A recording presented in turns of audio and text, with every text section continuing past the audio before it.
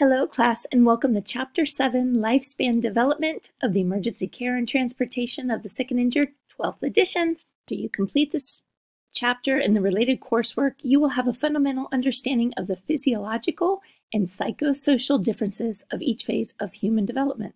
You will be able to discuss adaptations and strategies that might work to better assess and manage patients.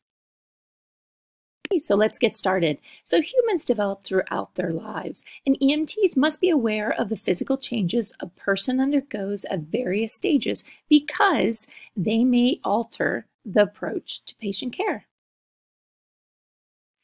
So neonates and infants, and remember, neonates is birth to one month. Okay, so, and it's covered in chapter 33, obstetrics and neonatal care. And infants, that is one month to a year, and they develop at a startling rate. The weight, so a neonate usually weighs between six to eight pounds at birth. The head accounts for 25% of its body weight. After week two, infants grow at a rate of about one ounce per day. So they double their weight by four to six months and triple it by the end of the first year. The cardiovascular system of a neonate and an infant. So at birth, the neonate become uh, makes the transition from fetal circulation to independent circulation. Okay, so the pulmonary system prior to birth, a neonate's lungs have never been inflated. The first breath is facilitated in part of the chest passage through the birth canal, and it increases that inner thoracic pressure. So, infants younger than about six months are particularly prone to nasal congestions. Infants have proportionately larger tongues and proportionately shorter, narrow airways, and some airway obstructions are more common in infants. Okay, so the rib cage is less rigid, and the ribs sit horizontally for bag valve mask ventilation. Remember that the infant's lungs are very fragile, so forceful ventilations can result in trauma from pressure or barotrauma. So respiratory muscles are immature and they there are fewer alveoli in the lungs and respiratory problems can quickly become life-threatening in neonates and infants. Okay, so the nervous system of neonates and infants. The nervous system continues to evolve after birth. A neonate is born with certain reflexes. So the, uh, the neonate is born with a Moro reflex, and that's basically a startle reflex.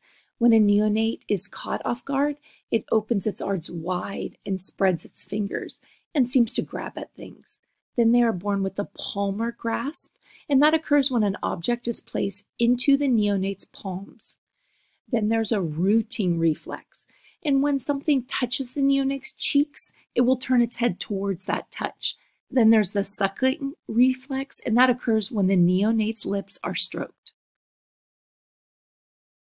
A neonate's fontanelles are the spaces between the bones that will eventually fuse to form the skull. The posterior fontanelle fuses at about three months. The anterior fontanelle fuses at 9 to 18 months of age. A depressed fontanelle may indicate dehydration, and a bulging fontanelle is indicative of inner, increased intracranial pressure. This figure shows a great picture of the fontanelles of infants. Okay, so a little bit more about neonates and infants' nervous system. By two months of age, infants can track objects with their eyes and recognize familiar faces. And at six months, they can sit upright and they begin to make cooing and babbling sounds. By 12 months of age, an infant can walk with minimal assistance and knows his or her name. And their immune system. So, infants and neonates' immune system maintains some of the mother's immunities. Infants can also receive antibodies via breastfeeding and this fosters, uh, further boosters their immune system. Okay, so the psychosocial changes of infants and neonates, and they begin at birth and evolve as the infant interacts with and reacts to the environment. And there's a, a slide of the noticeable characteristics of the various ages. Okay, so crying is the main method of communicating distress of infants and neonates. They bond, uh, it's, and it's by, based on secure attachment. So, anxious, avoidant attachment is found in infants who are repeatedly eject, rejected, and children show little emotion response to their parents or caregivers and treat them as they would strangers. Also, separation anxiety is common in older infants.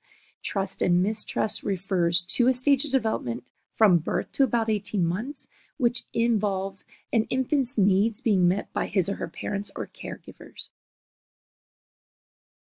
Okay, so let's move on. Now we're into the toddler and preschool.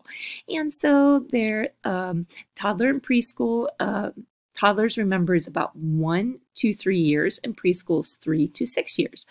And the physical changes. So the cardiovascular system of a toddler or preschool uh, is not dramatically different from an adult.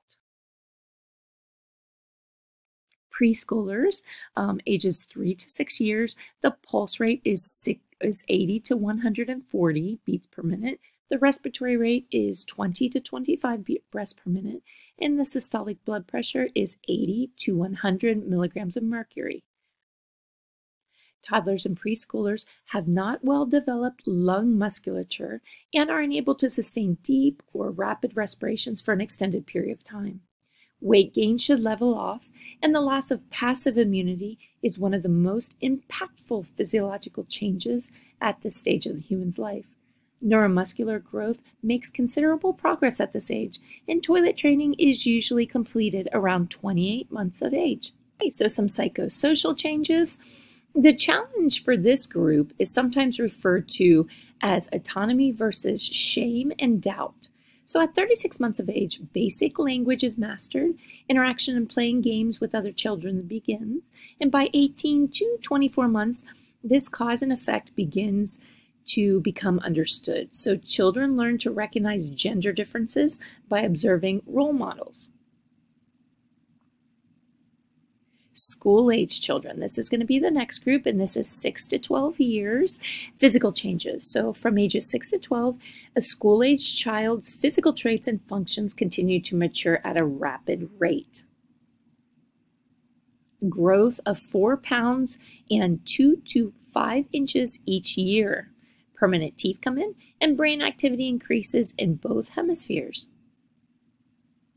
So, some psychosocial changes. So, children learn various types of reasoning, and we're going to talk about three of those types of reasoning pre conventional reasoning, conventional reason, reasoning, and post conventional reasoning. Okay, so pre conventional reasoning is how children act almost purely to avoid punishment and get what they want. Conventional reasoning is when children look for approval from their peers and society. And then post conventional reasoning, this is when children make decisions guided by their consequences. Okay, so children begin to develop their self concept and self esteem at this age. Now we're going to get into the adolescents, and we call them teenagers sometimes. This is from 12 to 18 years. Vital signs begin to level off within the adult ranges. So the pulse rates you're going to notice are the same as the adults, and this is 60 to 100 beats per minute. Respiratory rate is 12 to 20, and systolic blood pressure is between 90 and 110 millimeters of mercury. Adolescents experience a two to three year growth spurt, an increase in muscle and bone growth, and body changes. Girls generally finish their growth spurt at about 16 and boys at about 18 years of age. The endocrine and reproductive system matures and secondary sexual development takes place. So pubic hair and axillary, axillary hair begin to appear, voices start to change, and menstruation begins. Okay, so some psychosocial changes. So adolescents and their families often deal with conflict as, as adolescents try to gain control of their lives from their parents. So privacy becomes an issue and self-consciousness increases. Adolescents may struggle to create their own identity with multiple options for gender exists, and many are uh, fixated on their public image. Okay, so they often want to be treated like adults, yet cared for like younger children antisocial behavior and peer pressure tend to peak at age 14 to 16. So, smoking, illicit drug use, and unprotected sex are problems that may arise. And eating disorders can arise in uh, adolescents from their attempt to gain self control through what they eat. A code of personal ethics develops based partially on parents' ethics and values and partially by peers and personal experience. Adolescents have a high risk for suicide and depression. So the next group we're going to talk about, 19 to 40 year olds, are the early adults. And that's the range, 19 to 40. And their physical changes, so their vital signs do not vary from those um, that we've seen, uh, that will be seen through adulthood. And the pulse rate, of course, will average around 70 beats per minute. And once again, that range will be 60 to 100 beats per minute. The respiratory rate will stay in the range of about 12 to 20 and the systolic blood pressure, once again, will be a, between 90 to 120 millimeters of mercury. From age 19 to shortly after 23, the body should be functioning at its optimal level. Lifelong habits are solidified and the body is working at peak efficiency, but in the latter years of early adulthood, the effects of aging gradually become evident. So, some psychosocial changes, life centers on, on work, family, and stress. And during this period, adults strive to create a place for themselves in the world, and many do everything they can to settle down. Despite the amount of stress and change, this is one of the more stable periods of life. Now let's talk about middle age. So middle age or middle adults are between 41 to 60. Physical changes um, so the vital signs remain about the same. Middle adults are vulnerable to vision and hearing loss. Cardiovascular health becomes an issue, and cancer, um, the incidence of cancer increases. So menopause takes place in the late 40s and early 50s. Diabetes, hypertension, and weight problems are common. Exercise and healthy diet can diminish the effects of aging. So, some psychosocial changes. There's a focus on achieving the goal, life's goals. Middle adult must readjust their lifestyle as children leave home. Finances can become a worrisome issue, and generally, people at this age have physical, emotional, and spiritual reserves to handle life's issues. So, middle adults can may find themselves caring for children leaving for college and caring for their aging parents as well. Then there's older adults. So older adults include those ages 61 years and up. So physical changes, life expectancy is constantly changing. Now it's about 78 years old. So it's determined in part by the birth year and the country of residence. They are often able to overcome numerous medical conditions, but may need multiple medications the cardiovascular system in older adults. So, cardiac function declines with age largely due to atherosclerosis. Heart rate and cardiac output decreases. Cardiac output can no longer meet the demands of the body, and the vascular system becomes stiff. The heart must work harder to overcome that vascular resistance, okay? And the ability to, to provide replacement blood cells decline as uh, as does the blood volume. The respiratory system in older adults, so the size of the airways decrease or increase, and the um, surface area of the alveoli decreases. Okay, so the elasticity and the strength of the intercostal muscles and diaphragm decreases, and breathing becomes more labor intensive. By age 75, the vital capacity may amount to only 50% of the vital capacity of a young adult. So the chest becomes more rigid and fragile, and the cough and gag reflexes diminish along with the ability to clear secretions. So older adults are at a greater risk of aspiration and airway obstruction. Smooth muscles of the lower airway weaken, causing airway collapse on inhalation.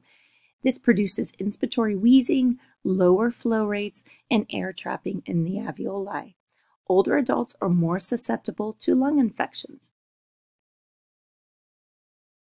The endocrine system in the older adults, so insulin produces drops off and metabolism decreases. The product the reproductive system changes to some extent as well. And so you have hormone production for both sexes is going to gradually decrease as they age, okay? And sexual desire may diminish with age but does not cease. Then the digestive system in older adults. So there's some changes in the gastric and intestinal, intestinal function, and it may inhibit natural intake and utilization in older adults, okay? So tooth loss may makes chewing difficult and taste sens sensations decrease. Saliva secretion decreases, and this reduces the body's ability to produce complex carbohydrates. The ability of the intestines to contract and move food through diminishes, and gastric acid secretion diminishes. diminishes. Gallstones become increasingly common, and decreased elasticity of the anal sphincter causes fecal incontinence. The renal systems in the older adults, so the filtration function declines by 50% from age 20 to 90. Kidney mass decreases 20% over the same span, and there is a um, blood supply reduction in the kidneys, okay? So there is decreased ability to remove waste and to conserve fluids when needed. The nervous system in older adults. So the brain weight may shrink from about 10 to 20% by the age of uh, 80. Motor and sensory neural networks become slower and neurons are lost, but that does not mean that there is a loss of knowledge or skill. Uh, and then sleep patterns change. Okay, age-related shrinkage creates a void between the brain and the outermost layer of the meninges, which provides room for the brain to move when stressed.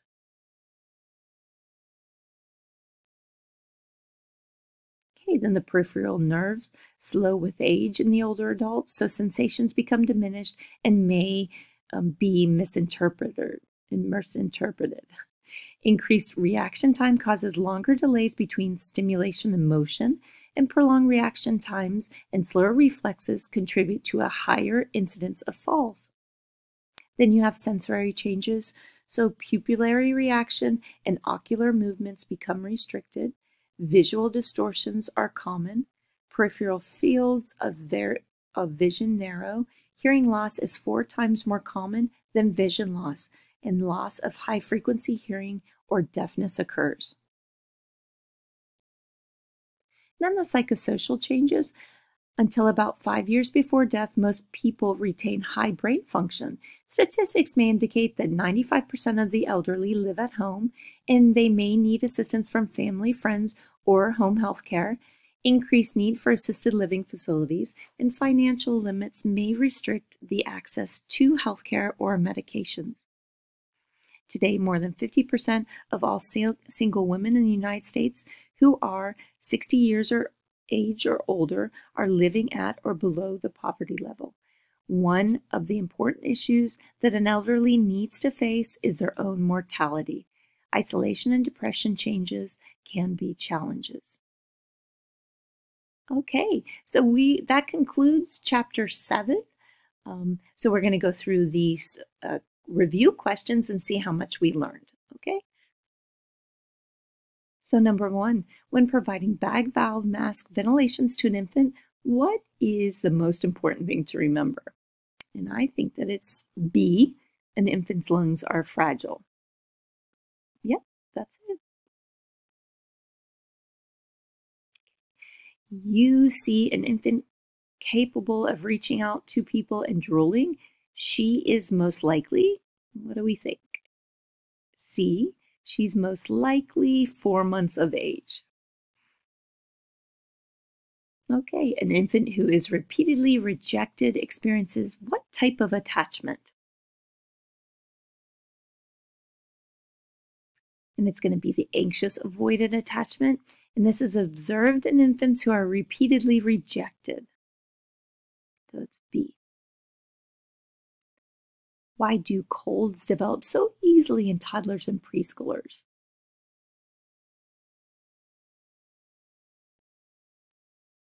I think it's D. Yeah, all of the above. So toddlers experience that loss of passive immunity. They do not have well developed lung musculature, and they are spending a lot of time around their playmates and classmates. So, all of the above. All right, the pulse, pulse rate of a toddler is slightly higher than the adults, right? So, B, the pulse rate is 90 to 150 beats per minute.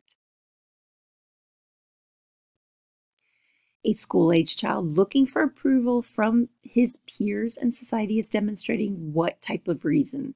Okay, so is it pre convention, convention, or post? And we think that this is going to be conventional thinking, right?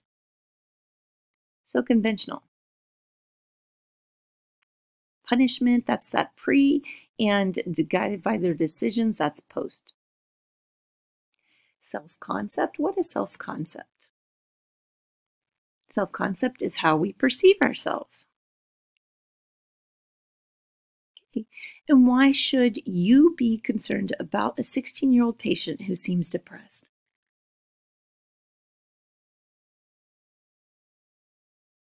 And I would say it's C, adolescents are at a higher rate for suicide. Okay? They're, they're struggling to create their own identity, but are caught between two worlds. So C. And why do finances become an issue during middle adulthood? What do you think? I would think it would be A because we're supporting or they're supporting the children and their parents. Yes, and it's A. Um, the parents of adults in this group are getting older and now need care. So it's A. Okay, and why is breathing more labor intensive for the elderly? And I think it's going to be all of the above. And that's correct. All three of the factors make breathing more labor intensive for the elderly. Okay, so this concludes chapter seven, lifespan development of the new um, the new edition of the EMT book. And uh, thank you for joining me today. And if you like this lecture, uh, go ahead and look around and, and listen to some more. Thanks.